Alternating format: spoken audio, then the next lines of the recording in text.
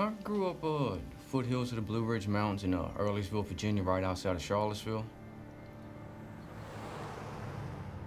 Grew up dirt poor, wrong side of the wrong side of the tracks. Um, you know, uh, dad was an alcoholic and a drug user. Uh, for the most part, he was absent. Um, I was the middle son, so no matter what happened, I always got beat for it. You know, being a middle child, so on and so forth, whether I had anything to do with it or not. Um, and going to school, you know, we went to a pretty nice school actually, and we were, I mean, by far the poorest there, you know, so we got picked on, made fun of and stuff like that, and just started fighting, you know. I never bullied anybody, but I would always pick fights with the bullies cause I hated it. I, you know, I know what it felt like to be put down and made fun of. So I would take the bullies, I'd stuff their heads in the toilets. You know, that's just all I've ever known was how to fight. My dad made me fight, you know, with sawed-off two-by-fours, just to toughen us up and make us hard. He said, if you get into a fight, you damn sure better finish it. And if you lose, I'm gonna beat your ass for it. That's pretty much, I mean, unfortunately, that's pretty much my childhood. You know, all I've ever known was violence. You know, it it wasn't the solution to the problem. It was just life. Now I'm doing 1,214 years in state of Virginia without parole. Um, that's pretty much it.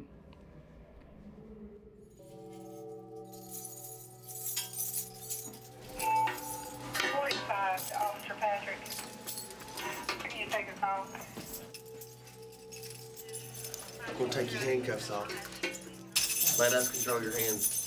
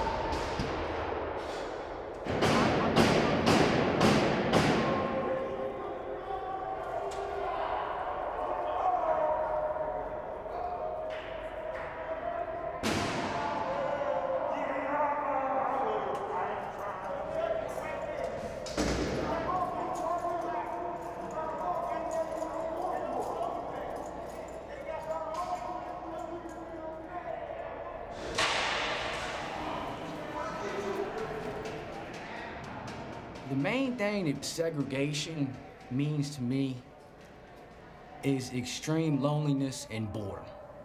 That's the main thing, loneliness.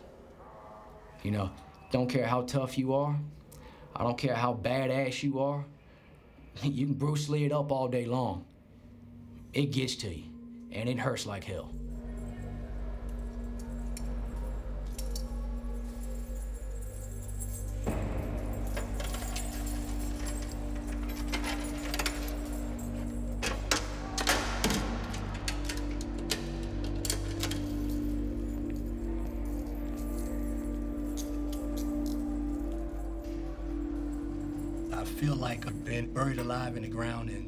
Everybody's just basically walking over top of you. You can hear them, but they can't hear you. That's the way I feel. Forgotten. You know. And that, is not a comfortable feeling at all.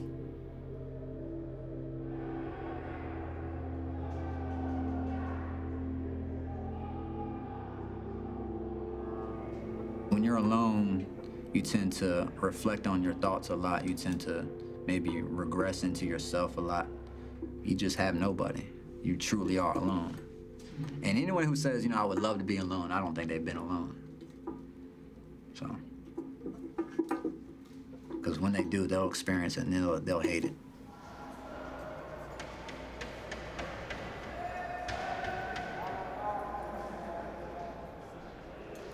I've been in seg going on eight years. And when you're in here, you don't have the contact that you want. Every time you leave the cell, you gotta strip. Terrell, squatting off. Notice the bottoms of your feet. Other one. And then you're in handcuffs. You're in shackles.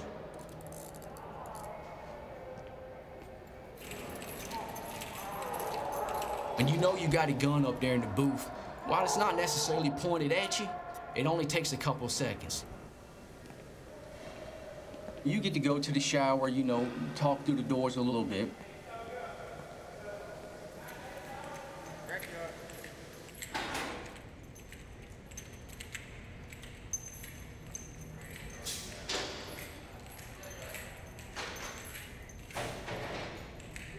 You get to go outside on the rec cages, you know, for an hour, a few days a week.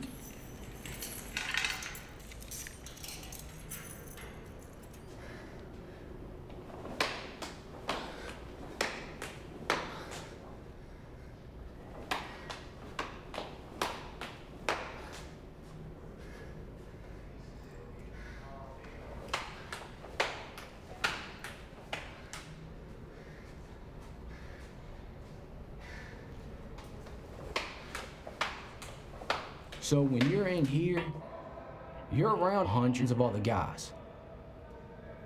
Inmates and the COs. But you walk alone.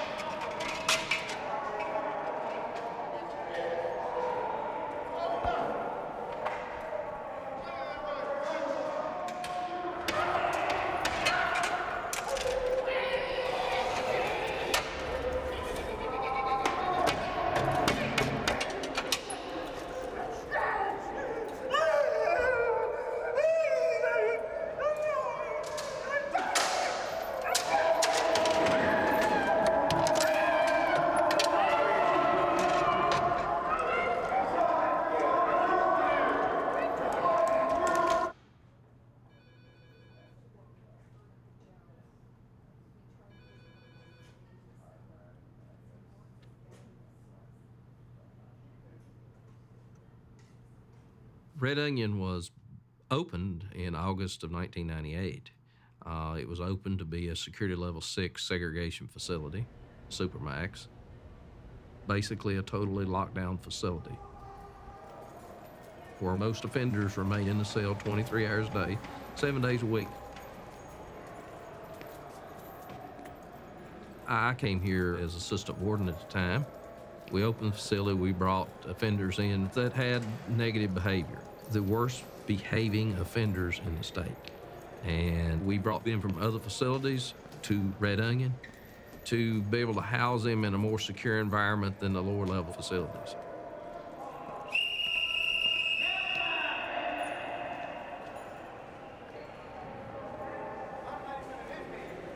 Adam went to court up here for stabbing up security guards, and they dismissed the charge because I'm trying to hit me.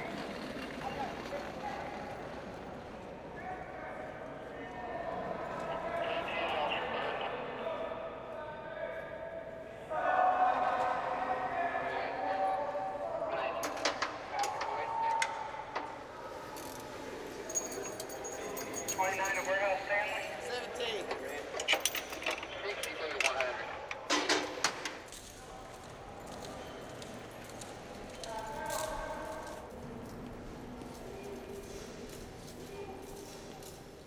My name is Michael Kelly. I'm originally from South Central Los Angeles. I don't know nobody out here. I don't have no family, no friends out here. I don't know a soul in Virginia. I came out here to Virginia to drop somebody off, and I committed a couple robberies.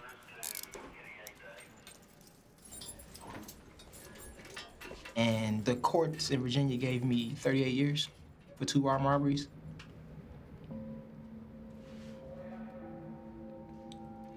If I would have known that I would have got 38 years for two armed robberies, like I would have never done it. You know what I mean? Because I would have been like, holy shit, I'm not finna throw my life away for 38 years for two armed robberies. That's crazy. That sounds nuts. But I didn't know how serious it was out here in Virginia. In California, I'd have got like eight years not been that, you know? But I didn't know how serious it was. And I didn't know how serious um, society took that. When I was a kid, I wanted to be a gangster. I wanted to be like my father. You know, in California, where I came from, we don't really look at gang banging as, as, as being crazy. It's just kind of our culture. It's a neighborhood thing. Like if you're from the neighborhood, that's your family. You know, that's that's that's your that's everything to you. You know, when we're young, you got people that you look up to and say, "We want to be like them." You know, I want to be like him. Like, look at his car. You know, look at the girls that like him. Like, I want to be like him. I want to look like him when I get older. That's my America. And I'm in prison now. They put me in segregation for fighting. And being in that cell 23 hours a day, it's a mental challenge in itself. Just being in that cell for so long, it, it, it- it's a psychological thing, you know? Any and everything that we go through is just in that little box, in that little cell. Trying to like create things to do. Trying to keep from going crazy, like every day, all day. Like for me, my therapeutic time is cleaning up every day. When I get up in the morning, I clean up. When I go to bed at night, I clean up. You know, hit the floor, the walls, the sink, just clean everything, get it all straight, spick and span, right? But I don't know. I think that's just maybe OCD or something. I don't know. Maybe I'm crazy a little bit.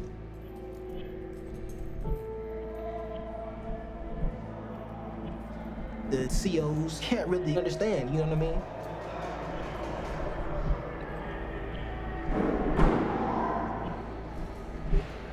they're here half the time we're here. You know what I mean? But at the same time, they leave. You know, and they go back into the real world and they come back. This is our world.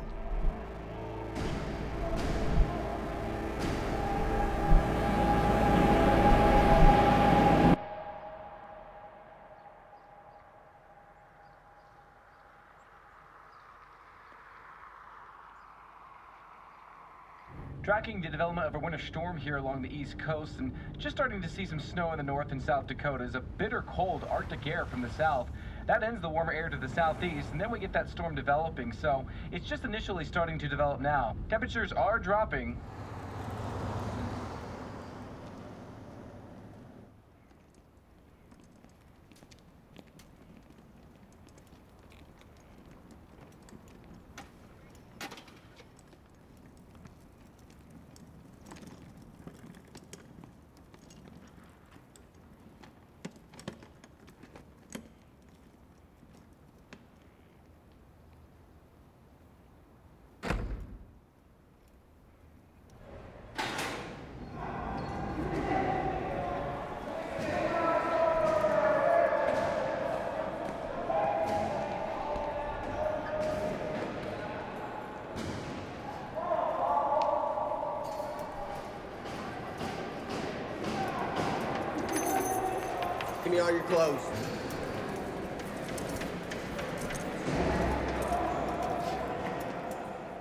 Some days it can be easy going, and then some days your stress level can be out the roof, and it feels like you're doing time because you have to come right back and do it the next morning.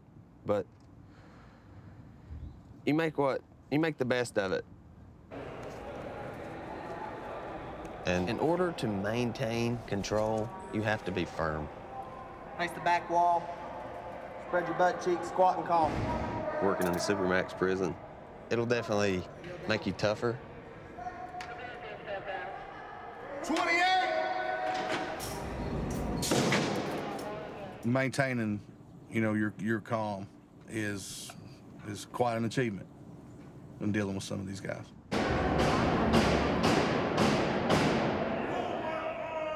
And some days it feels like the day's just not going to end. You know, it's one thing right after another.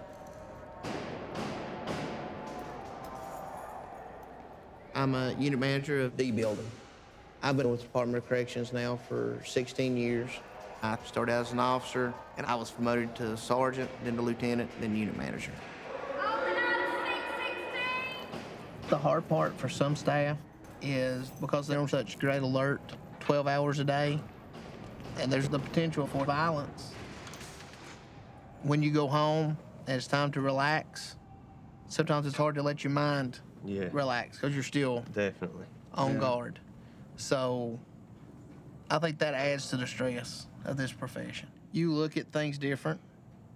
Uh, when I'm out on vacation or out in big crowds with my family, you know, I'm always looking around. Yeah. I think that's to do with this job. You have to just let Red Onion be Red Onion, you know, and it takes a, a it takes experience to really settle in to the point that you realize this is just a job. You know, we don't have to live here.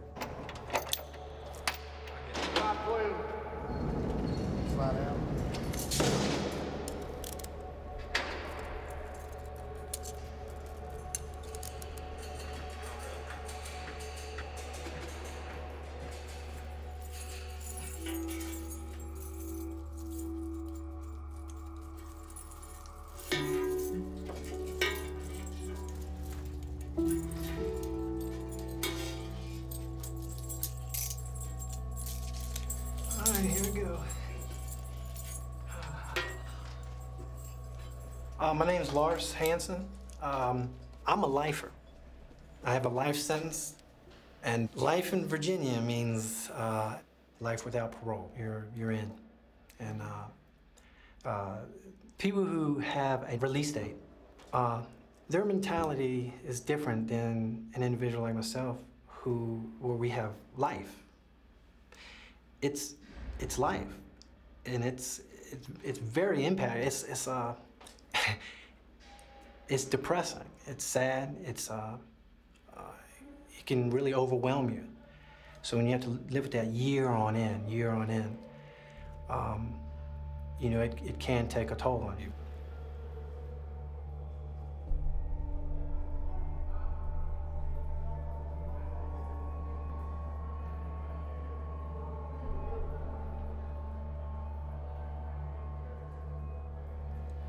I'm 41 years old. Uh, I've been incarcerated here in Virginia for almost 20 years now. I started getting in trouble, you know, nothing major. I guess uh, probably 13 years old. But I come from good parents. You know, they loved me. Uh, you know, they didn't beat me. They, uh, they taught me to respect people.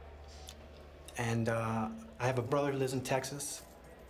And we're just alike. It's just that I, I made the bad choices, and he didn't. And, you know, he's doing really well. When I was 17, uh, I shot a guy, and I did five and a half years in prison in Hagerstown. And I think that kind of messed me up a little bit because it's very violent out there. I told the parole board this, they paroled me. And so I went home, age 22, and I was home for six months, but I still had the mind frame of an inmate uh, mentality when you're incarcerated is you don't want anybody to really disrespect you or take advantage of you or uh, you, know, stuff like that. And um, so um, I was at a gas station with my girlfriend, and there's uh, two guys that just kept harassing my girlfriend and I, and uh, they just kept on, kept on, and kept on and kept on, and I snapped and uh, I stabbed them, and I killed them, and they gave me a life sentence.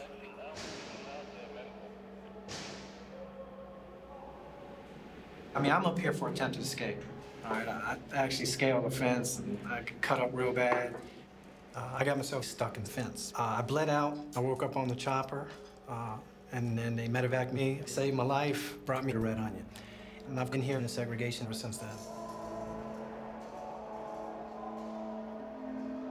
Segregation is tricky on the inmate.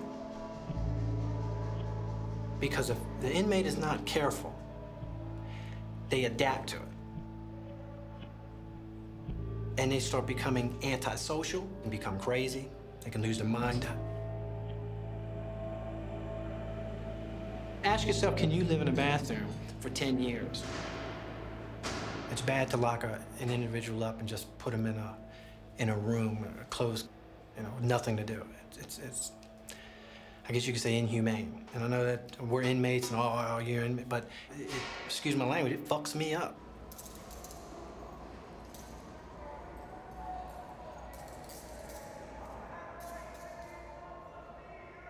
I've been in segregation going on 17 years. But I've been locked up for 27 years. And do you mind telling me about the original charge you caught? Armed robberies, and I, I shot one person in the armed robbery with malicious wounding. Well, I didn't shoot him. It was, uh, I shot up in the air, told him to get on the ground, and the bullet ricocheted off the steel I-beam in the ceiling, ricocheted off the brick wall, and hit the cashier in the foot. And they gave me 30 years for that. a ricochet bullet that didn't have no intent to hurt nobody. I shot up in the air. They, they even testified I shot up in the air. But the judge didn't see it that way. He said my intent to hurt was when I pulled that trigger. Uh, And and what happened that got you to into segregation for such a long time? I cut the warden across the face and the neck in uh, 19 December 26th of 1996. That's what I did that. That won't that won't too good. That was a moment of passion. That's something I've been regretting for the last 17 years almost.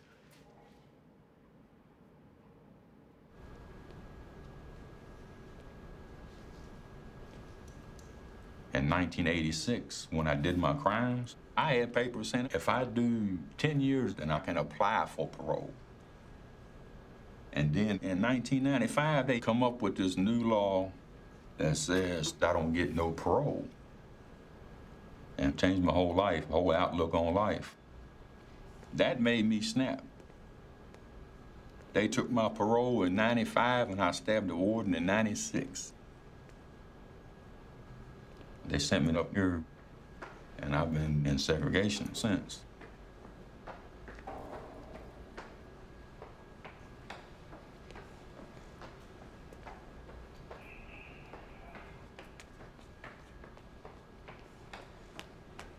I come in the prison system, you know, fighting, slinging ink, hustling, doing whatever.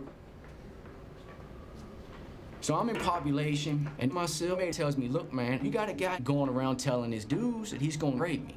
He said he's gonna knock you out, he's gonna rape you. I said, okay, if I had a knife, I'd slit that boy's throat. He said, I'll make you one. We used to have uh, cassette tapes back then. You know the plastic case around it? Took it, broke the stuff off, took a lighter, melted it, folded it in half. Did that with another one. Melted it together. Put three brand new razors in it and melted it in there. Next morning, we walk out, and he's crossed the yard. I walk up behind the dude, take my left hand, I wrap it, and I palm his face. Put my right knee in his lower back, and I stretch him back. I slit his throat from ear to ear. His friend said, Oh my God, no. He dove like Superman and rolled up, jumped up, and ran across the yard. So when dude turned around, because it didn't really cut him deep, because cutting throats ain't easy, because you got all the ligaments and tendons in there. It's it's a lot tougher than people think it is. you know, but he bleeding like a stuck pig. So when he turns around, I just start catching him, beat the living hell out of him. They come run up on me, you know, before they can tackle me and whatnot. I just step up, step back, cause I didn't put the work in. You know, they put the handcuffs on me, they take me, and they bring me up here.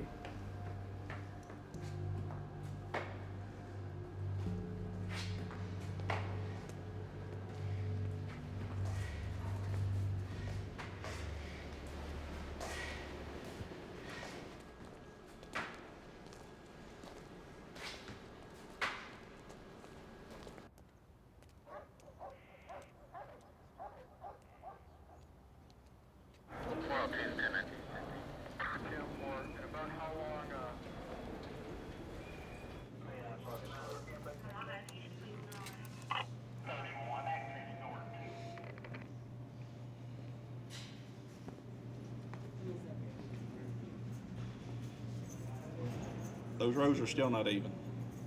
Make them even. We have six offenders on mental health precautions. Their SMI sheet should be on their door listing specifically what the uh, management instructions are for mental health. We now have the Glock 40 calibers uh, in position, so make sure you have your weapons card. Um, I think that's all I've got. Everything else should uh, be normal. Have a safe and peaceful day, and thank y'all.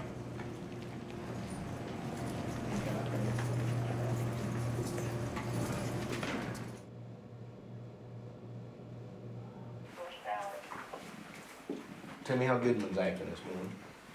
He come out of restraints last night about twelve thirty and, uh, waiting to get his property back to be reviewed. He's already got it. He's already got his property back. Um, he's still a little agitated. What you got running today? Things running smooth. Um, officers doing well. We're on lock. Anything about when we would resume rec? Not as of now. Okay. Well. Once somebody starts in corrections, they quickly learn that they do make a difference. You know, it's law enforcement. Um, every day we're protecting the public. We save lives. And, uh, you know, that, that's fulfilling to you. You know, you get to go home and lay your head down at night and think about what you've done today and realize that you did make a difference and that you can make a difference.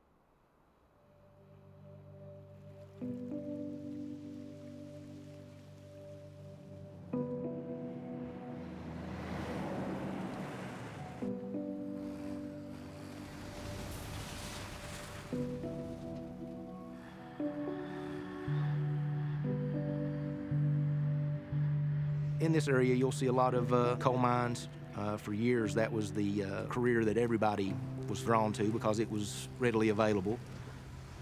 Sawmills, not a lot of high-end jobs in this area.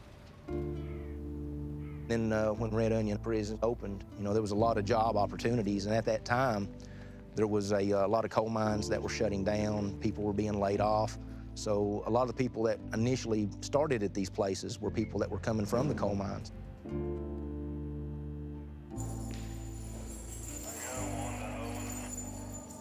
My father's still working in the coal mines. This is his 40th year working in mines. You know, I was I was raised in a mining family, and that's really in this area. That's the the biggest and really about the only industry. That working, that red onion, it's tough, but to me, it's a good job compared to the coal mine.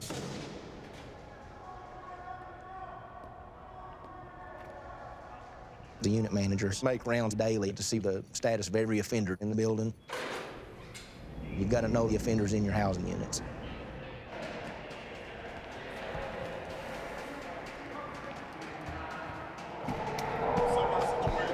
What's up with your situation? Let go over here to the door where I can hear you. When was your charge? Charges in January. Oh, Over Okay. for a 212 charge. That don't even qualify. What is a 212 charge? A threatening bodily harm charge. A threatening bodily. Who did you threaten? I ain't threatening nobody. The officer said he overheard me talking to somebody. They won't give me my property back. They won't give me nothing back. You know, at each door, each offender has a different problem, and you know they all want the answer yes. Before 10 o'clock in the morning, right? I done told them leave the voicemail. But yes is not the answer that they'll always get. No, they did not. And I believe that we have a number of offenders that segregation is what the is what they want is where is where they want to live. They're afraid for reasons they may be afraid living in to live in general population, and then you've got some in here that just refuse to participate. What's going on? I'm just trying to get back home to Texas, man. How was what you did last week gonna get you back home to Texas? If an offender acts out or misbehaves, there's consequences to that. If an inmate continues to act up or become disruptive, then that's when we take disciplinary action.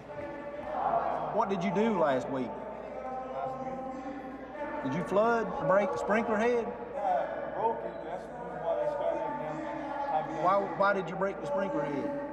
Well, because it's all dirty and stuff. You feel better now? Me to get the medicine adjusted, whatever. But you feeling a little bit better now than you was last week? You know, I haven't heard from my family like over a year. And, uh, that's the last time I got any mail. You feeling better today, Lonnie? I got mental illness, severe, mentally ill, psychotic, and neurotic, and um, being denied um, sufficient. You're psychotic and erotic. Is that what you said? Yeah, psychotic, neurotic. That's a person that uh, symptom out of touch with reality. Don't know what's uh, chivalry, what's real, and what's uh, spurious and fake. And some of the torture technique, like strapping prison to the bed with that useless uh, chest strap, starving. Well, I tell you what, Lonnie. We're gonna go on about our business. Right? And look, also, they got me in prison with no evidence. They had no eyewitness, and um, the state found me guilty, and they had a lot of people with uh, crimes like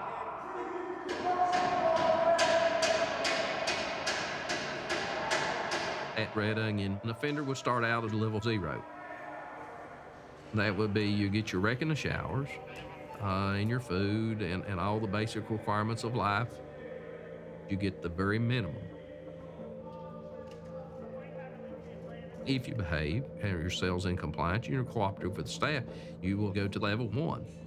And at that point, you may pick up an electronic item, you may pick up a few more dollars of commissary.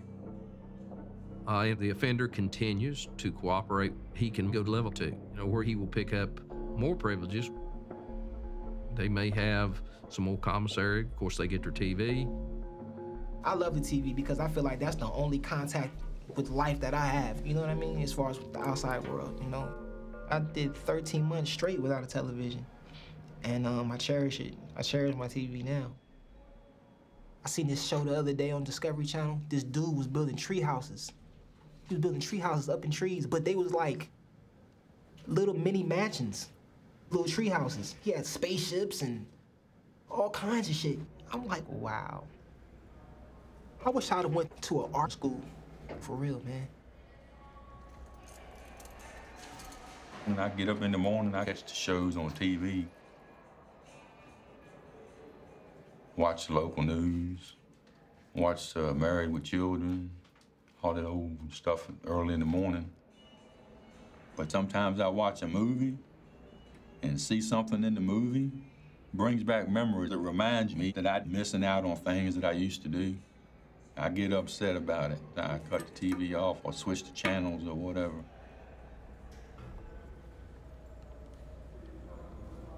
You know that show Bear Grylls? Uh, he does basically what I call uh, survival camping. You know, he'll go out there with just, you know, a knife and the clothes on his back and pretty much nothing else, and he just lives off the land. I love that stuff. I, I grew up doing it. I lived in the woods. When I come home from school, I wasn't watching TV. I was out in the woods. You know, I was climbing trees and throwing myself down mountains and, you know, jumping off of cliffs and rock climbing. I love that stuff. I miss it.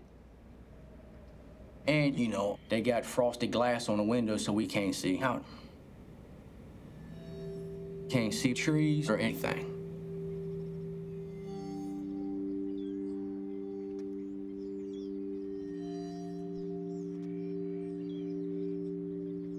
Ninety percent of the offenders in Virginia return to the public, return to your communities. Previously, offenders that have been in segregation for quite a few years would go straight to the probation office. We would take the restraints off of him, and then he would be sent back to society. And we'd expect him to adjust to being in the public. And now our goal is to take the restraints off here, to take the risk inside the facility so the risk is not taken in the public. To get out of segregation, they must participate in our step down program. Start going over some things used to help us deal with our anger. The question I'm gonna ask is, how you learned to express anger all your life. So how did you learn to express anger? This is gonna be uh, module three, handout three. Do you think we learn how to express anger? Do you think that's something learned? I mean, I learned more or less from, from, from, from my environment, the people I'm around. I grew up in a, in a rough neighborhood. You had to fight. As you grew up, you learned to find ways to get what you wanted from people. Sometimes this involved violence, intimidation, or physical and emotional abuse. Many men in prison are there as a result of the lessons they have learned when growing up. We're trying to prepare them to be successful in a population setting. Offenders that have graduated through the program will go from a segregation environment into a population environment.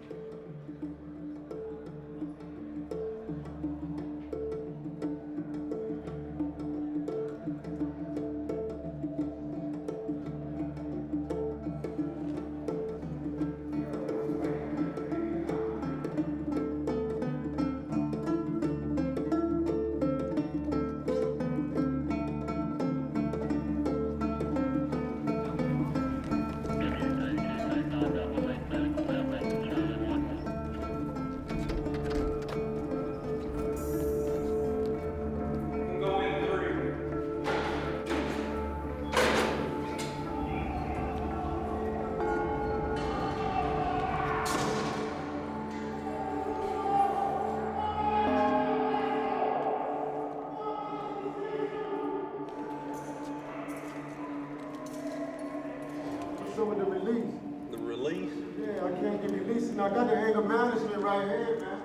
When are you going to participate in the challenge program? So my fashion, look. That's anger management. You need the challenge series. This is it. No, that's the anger management. Hey, if you got a psycho program, that means that somebody is a psychiatrist. Okay.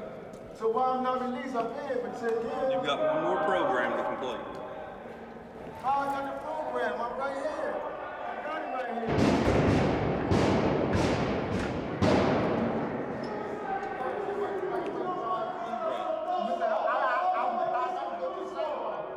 Yeah, you got it. Once you complete the challenge program, then after you complete it, you'll go to D-Bill.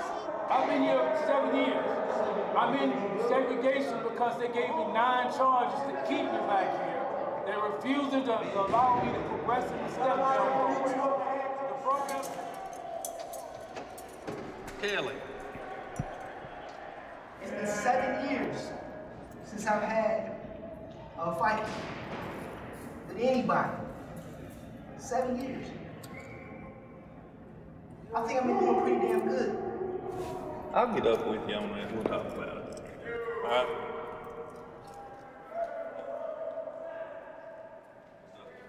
I understand that in any type of environment, whether it's in the free world or in prison, you have to have rules and regulations. We all understand that. You have to have rules, otherwise it'd be chaotic in here. It would be crazy. But when you actually have a valid problem, if you have a valid issue, it's not heard. And it's like you have no voice. And being a person and having no voice, it hurts at times, you know.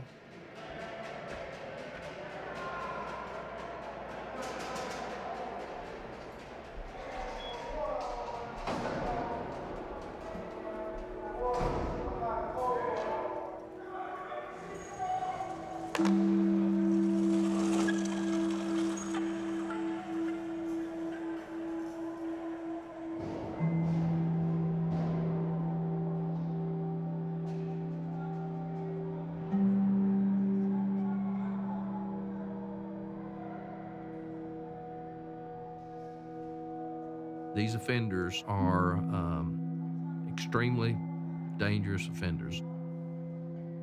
They are very violent and have been very violent. So when it comes down to those guys, there is a lot of risk involved with them. But through the program, these offenders have jobs rolling what we call plastic wire.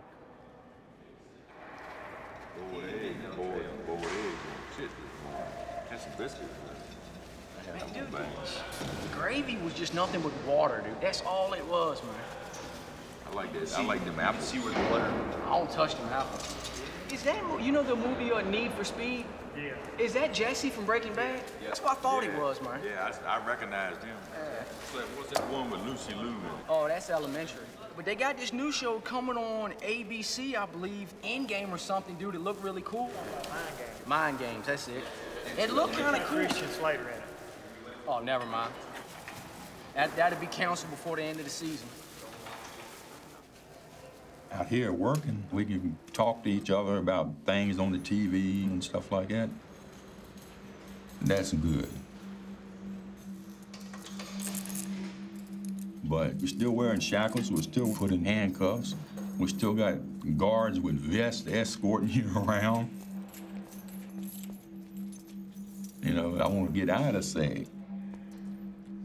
There's got to be a way out. Close 14!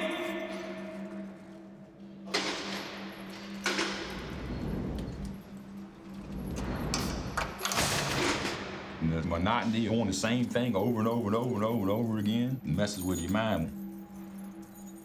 Like when I first come to segregation, I didn't really have no problems. I was just angry.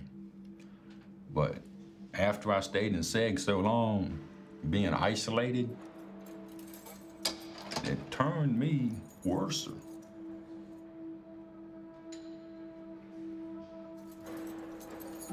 I had to go to the psychiatrist, get medication. Like when, whenever I don't take my medication, I cut on myself. I cuts all over myself. You know, that's what segregation did to me.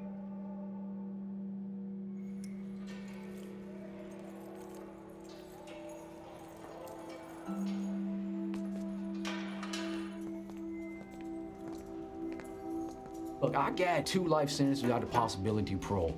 So I'm in prison for the rest of my life. But I want to go home. I want to go home. That's all I want. I want to go home. You know, you ask a lot of these dudes, man, if they could go home, what do they want? Oh, they want cars, they want houses, they want all these girls and Kim Kardashian and screw all that. I just want a good job. I'd love to have a wife, a couple of kids, and a dog. That's all I want out of life. That's all I ever want. I screwed up. I ain't blaming my parents or whatever. I did what I did. I accept responsibility for it. And if I got to spend the rest of my life in prison, then I'm gonna suck it up and deal with it. That's the only thing I can do. Either that or kill myself, and I'm too much of a coward to kill myself.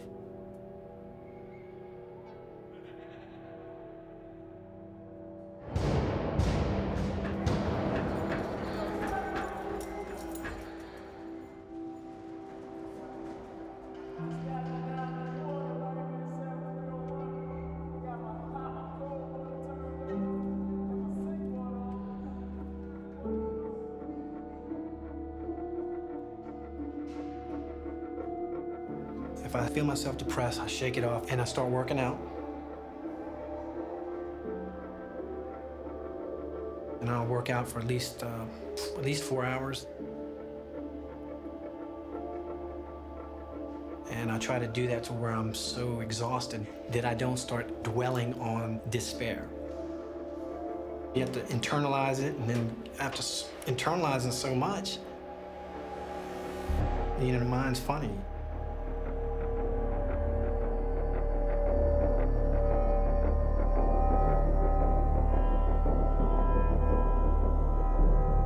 Feel like you're relevant to somebody. You know, and if you don't feel like you're relevant to nobody in that cell, then it'll make you wanna just lose your damn mind. You know, just go crazy.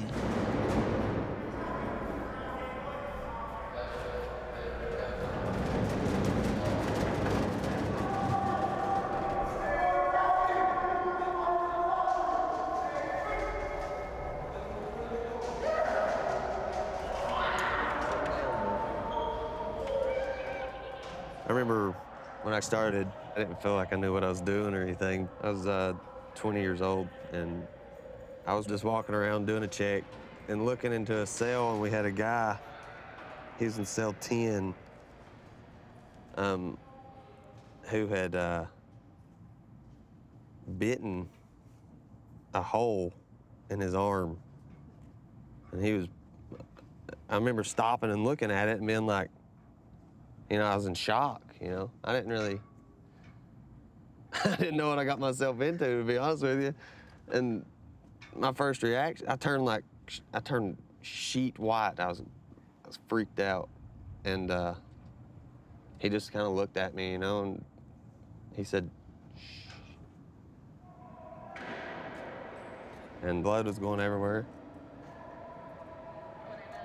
Medical had to come over there. It's a pretty crazy first incident, but it kind of broke me in.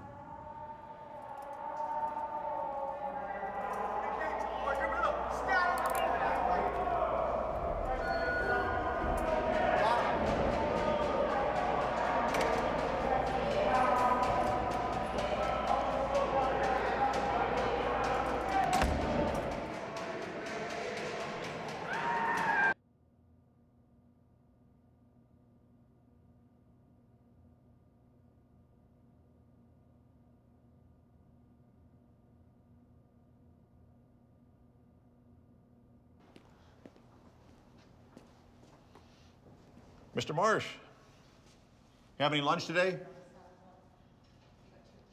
Did lunch come?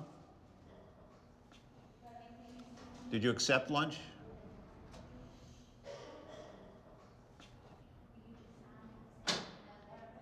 Like to talk to me, Mr. Marsh?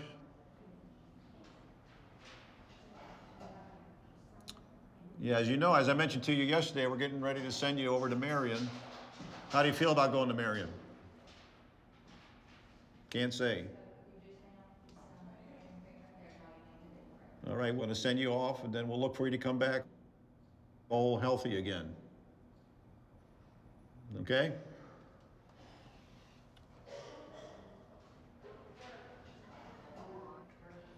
Okay. There have been studies that have shown that segregation uh, can have harmful effects on a person's mental health.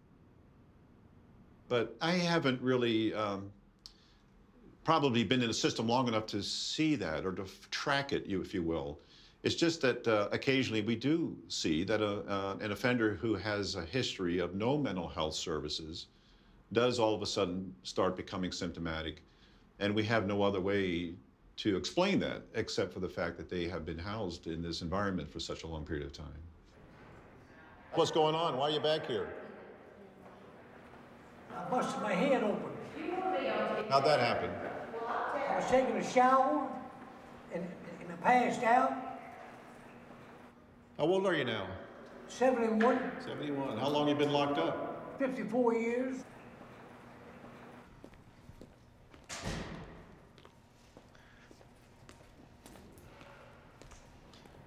Can you uh, tell us why you're back here? Some Severe, it say severe suicide thoughts. Severe suicidal thoughts. And we put you back here on precautions to kind of keep an eye on you, prevent you from harming yourself. Yeah. Yeah. When you're back in the building, uh, what are your concerns about being Where housed? I'm housed at is, is, is segregation. It seems like I'm forgotten about. I think we need, you know, more hands-on, you know, treatment. You know what I'm saying? Yes. You know, give me things to do, you know, other than being in the cell 23 hours. Yeah. I hear you. It's a challenge for us here. It's a No challenge for us. though. It- it- My, my opinion is just they just don't care. Yeah, we don't care. Well, I can understand why you might have that impression. Hey, for real, doctor, I need your support. I need your support. I don't want to, don't throw me back into where I left.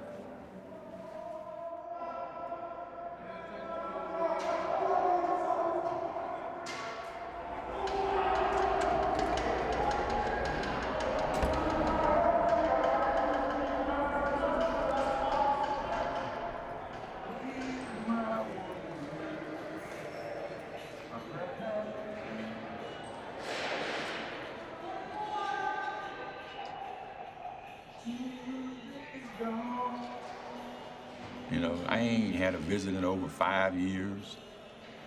My family's in Richmond, and it's like 500 miles round trip to drive, and we only get one hour a visit, and you can't touch each other. My family used to come up here once a year, but now, you know, my mom's 73 years old. The rest of the family's dying on me. I call my brother once a month, and I call my mom once a month. That's the only contact I got.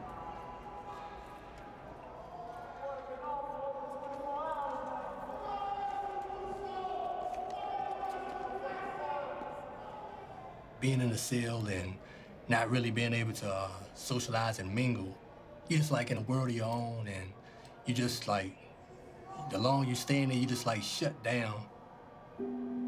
But you could talk to guys on the vent and stuff like that.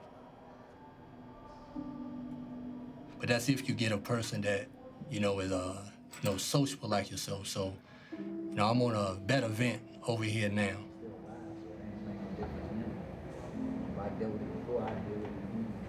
The vents suck air in and out of the cells. So you can like get up on the vent and you can scream and holler at the different inmates in the different cells that's connected to your cell. you can make a chessboard out of a little like piece of paper, make little pieces and play chess on the vent. It's something just to do, just to pass time, you know? Just um but yeah, get on there and play chess like you Bobby Fischer or something. You know, it's way we communicate kind of privately without other people hearing us. This pod only has two people on the vent, just you- and one other person. But in other pods, you know, you have four people on the vent. being able to open up and talk, it, it really helps me to uh, think clearly instead of thinking in a negative way or a way that I shouldn't think.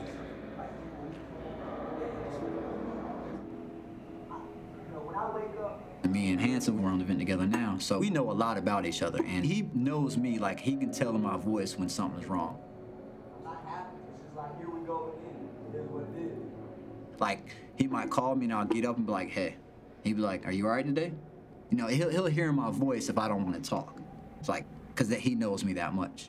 But you know, and he'll know if I'm in a good mood because my tone of voice. So it's our telephone system. We we kind of fill each other out.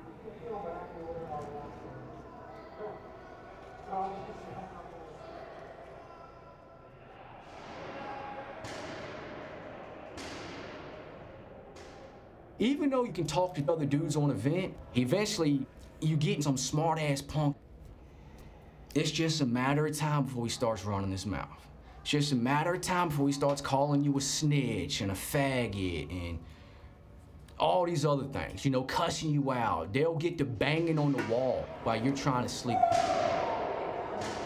And you want to get to them because they won't let up. And they'll bang seven, eight months at a time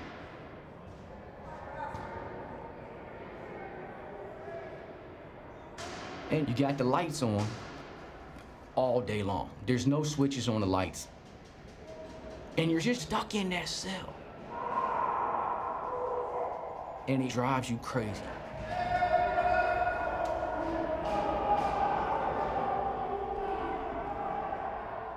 If you just sit and just listen to all the different cells, you will hear a thousand arguments all day, every day, just about nothing. It's the anger and the frustration everybody feels inside themselves. You have this, you have this, this, this, this, this rage that just builds and builds and builds and builds and builds.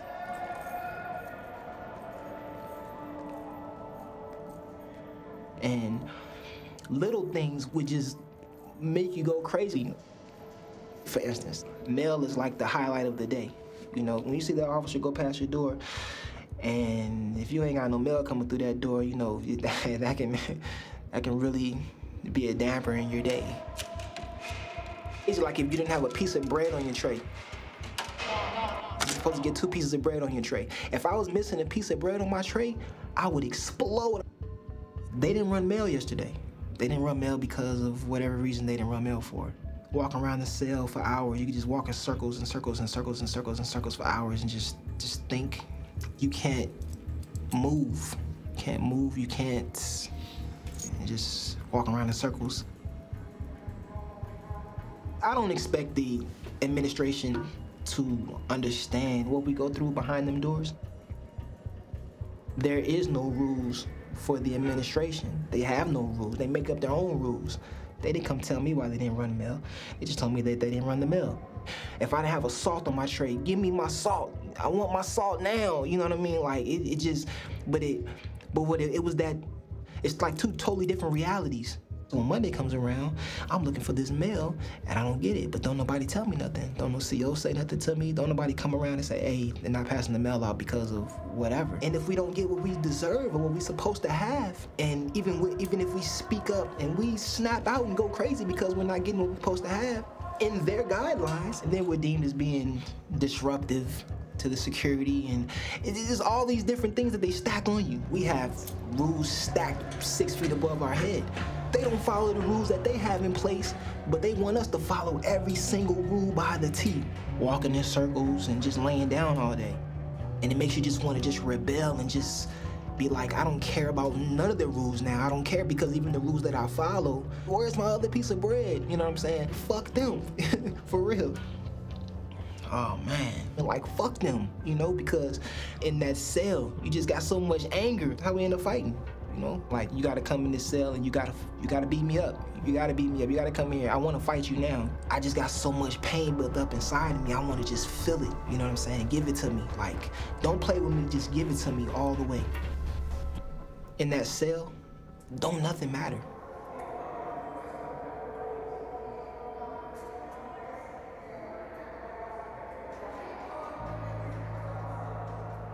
I used to act out. I used to throw feces on the guards, feces on the inmates, get the uh, extraction team, the officers to come in my cell and fight them and get gassed up and get beat up and strapped down and five point restraints and all that.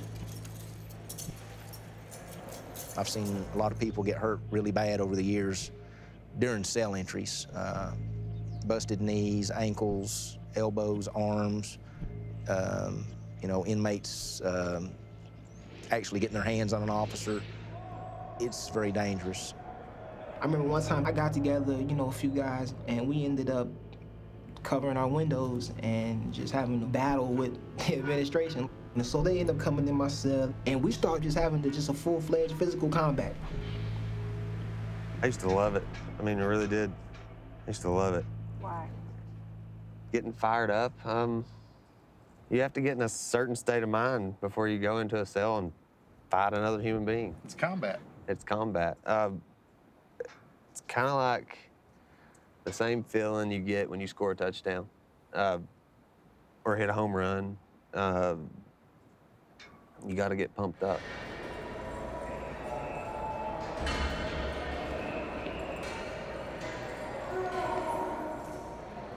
when it comes down to using force to enforce rules, regulations, uh, whatever it may be, we will we will do what we have to do.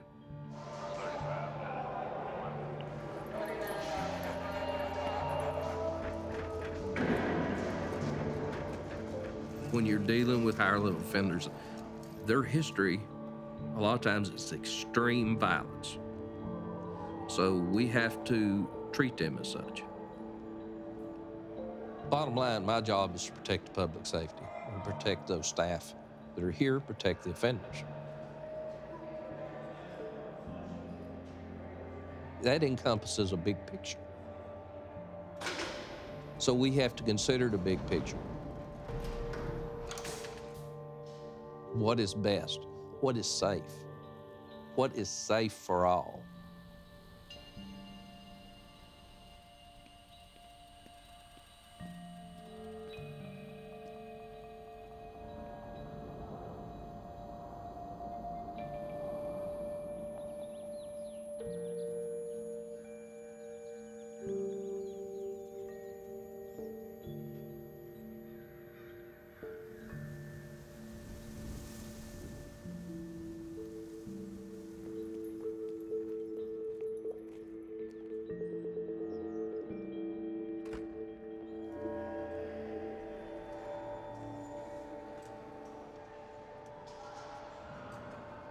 I'm 35 now.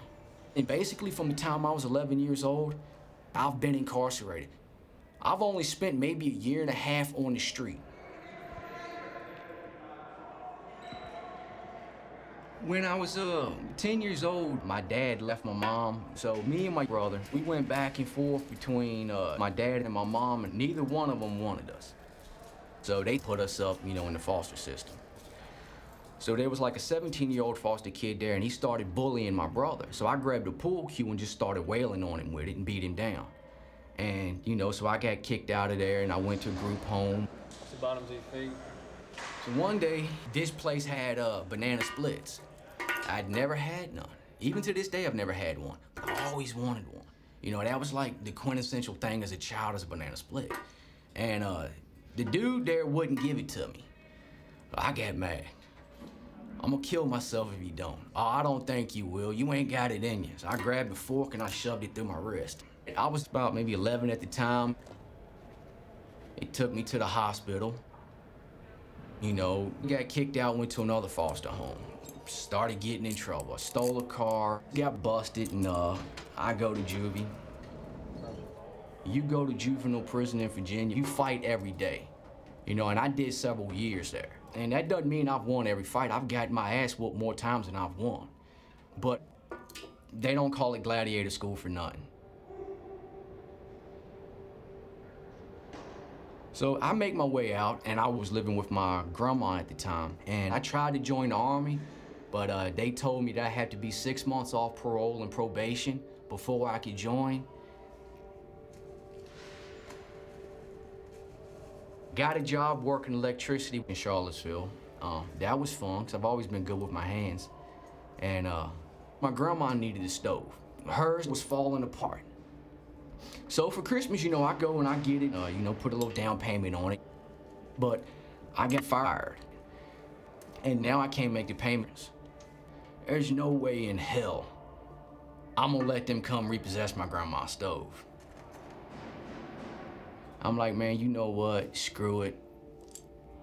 I can't get a job. I know what I'm good at.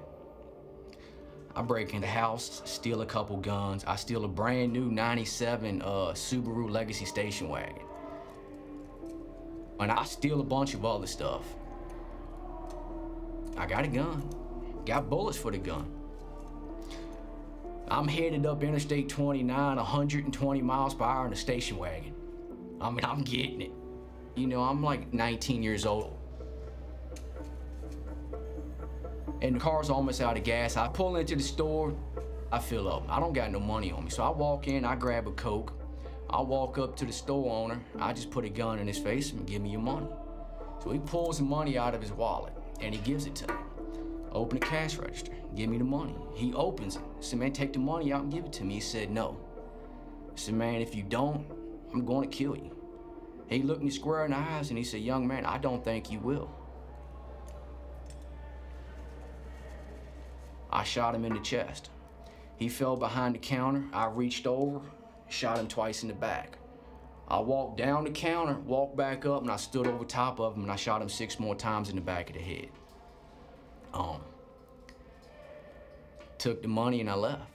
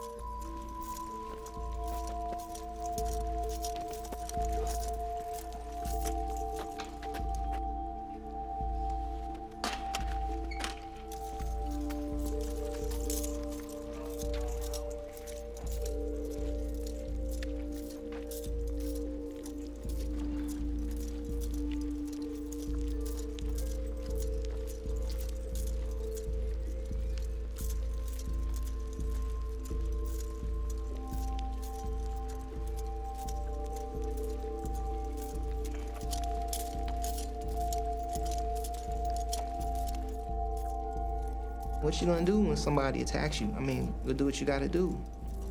It's not gonna matter what program you put in front of somebody.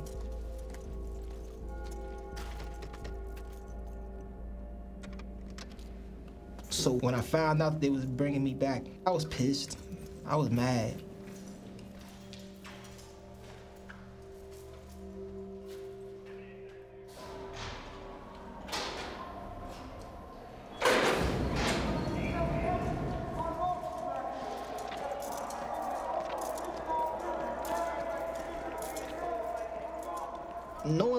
Coming back to long-term segregation, I had to start getting my mind right. Because once you come over here, you don't know how long it's gonna be before they let you go and send you back out into the prison world, back in the population.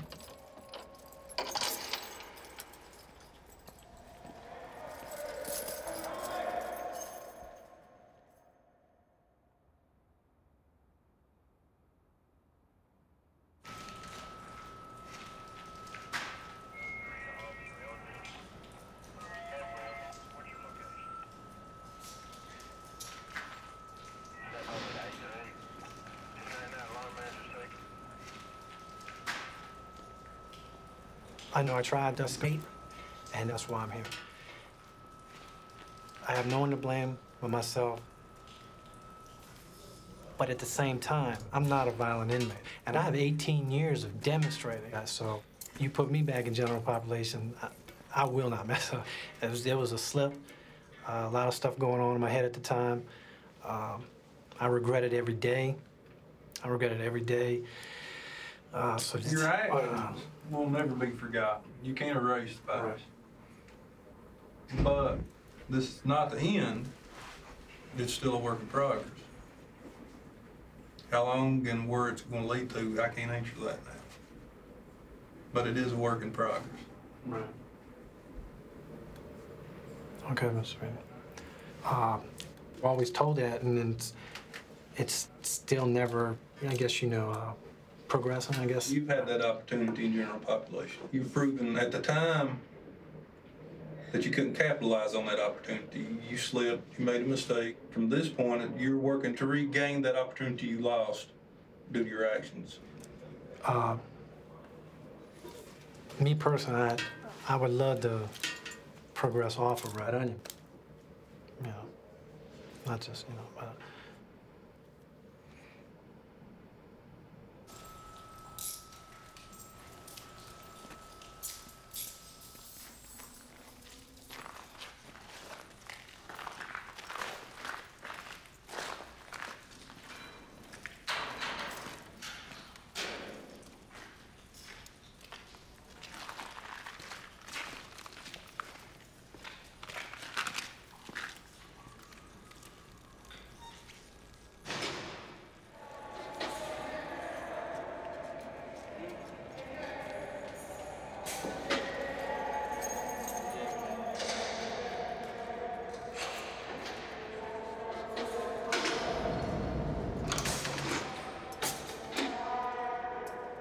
that door closes and you're in that confined spot, I couldn't imagine, for real. Uh, it would be awful being in here anyway. Yeah. That isolation wouldn't be something I don't think I could deal with easily either. Um, I think not being able to roam around would really, really take a toll on me. Yeah. I don't think I've actually thought about it as far as how I would act if I was behind a door.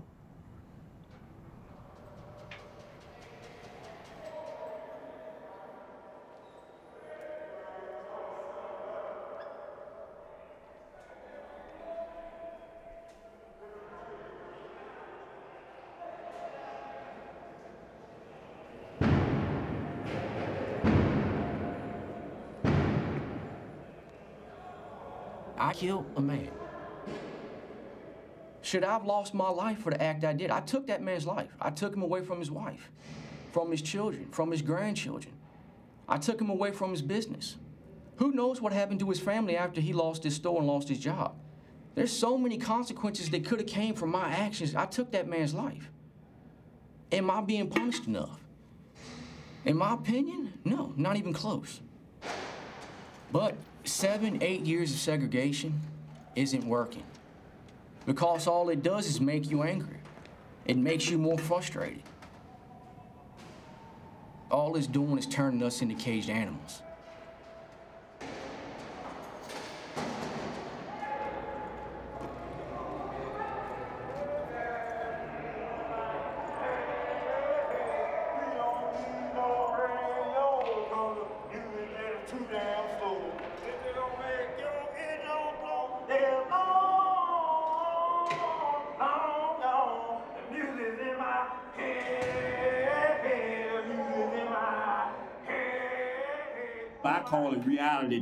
You know, I make my own reality television entertainment.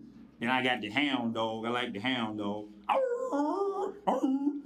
Hound dog, hot on that gal tail, hot on that tail. You know, that's good entertainment too. You know, keep myself entertained. Try to, then you know, like I said, I be having suicidal thoughts, and so I try to keep myself in good mood most of the time, right? You know, when you look in the cell, you can't see out the window. You know, and I, that's an old torture technique cause uh, deterioration of the brain. You know, the brain needs a uh, sensory, like any organ needs exercise sensory deprivation. That's what it's called. So that's why I'm kicking on the door.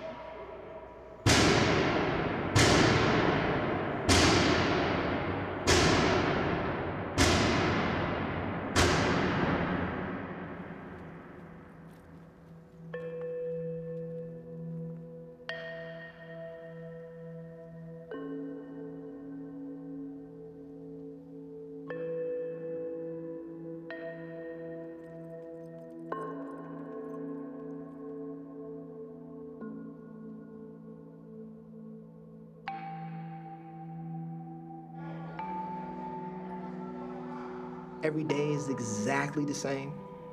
Exactly the same. Every single day is exactly the same.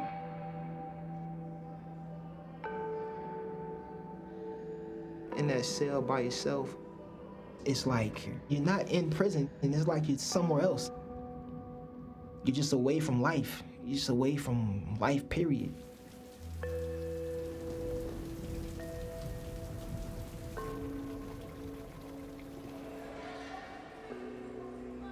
Don't know if hope is what's keeping me going. I just think it's uh, my inner strength. I guess my, I, I, it's either I'm gonna find the strength or I'm gonna kill myself. You know, it's either one the two. So I haven't killed myself yet. So you know, I'm just trying to, I'm, I'm just trying to make it. And I'm just.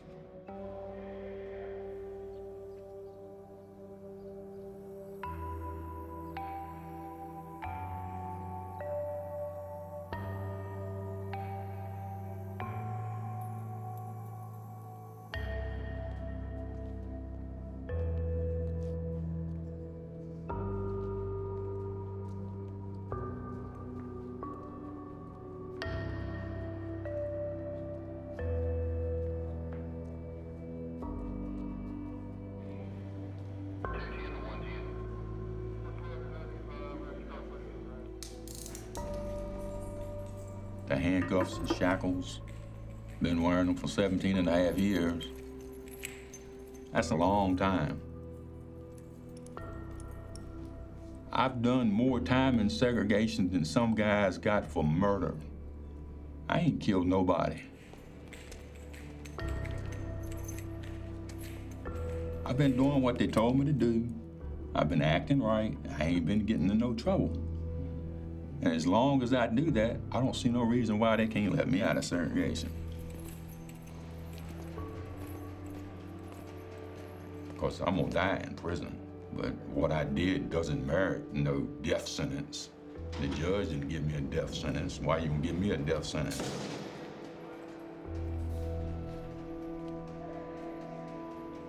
Keeping me in segregation for the rest of my life is a death sentence. That's the way I look at it.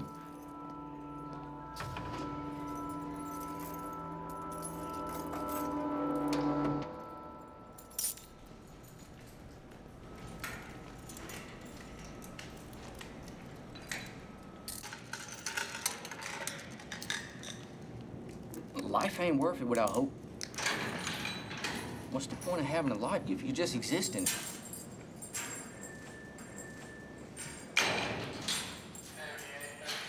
Twenty-three. I'm tired. I'm frustrated and I'm a little bit weak. Borderline depression, so to speak. You know, I think every human deals with it, regardless of where you're at. And how do you deal with it? Fantasizing, you know, just about going to different places. You know, I, I create entire landscapes in my mind. You know, uh, I have that ability to where I can close my eyes I can actually paint it. I can actually see it. I can actually walk through it. Sort of like a 3D model on a computer. Um, I pretty much do it every day. I'll cross my hands behind my back and I'll just close my eyes. You know, I just will it to exist, and then I'm able to step into it. Sometimes it's childhood places that I've been, you know, like the woods when I was growing up.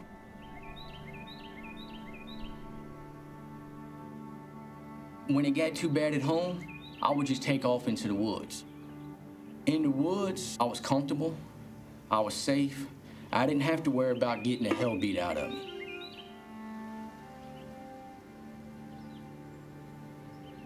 When you're walking through the forest, you know, climbing up the mountains, you know, and you feel the sponginess of the pine needles underneath your feet, you know, the branches, you know, brushing up against your clothes, the fresh air, you hear the squirrels chittering at you because you're invading their territory, the birds swooping around your head. You know peace. You know contentment. You know that this right here is what God created this world to be. He didn't create it for violence. He didn't create it for strife. He didn't create it for murder, rape, robbery, you know, lies and deceit and trickery. He didn't create it for all that. When you're out there in the forest by yourself, you know, and you're 20, 30 miles away from the closest person as far as you know, you get a true glimpse of what Eden was. You know, you get a true glimpse of what life is supposed to be. You know, it's your own little personal utopia. You know, it's a perfect environment. You know, it's the one place where I was happy.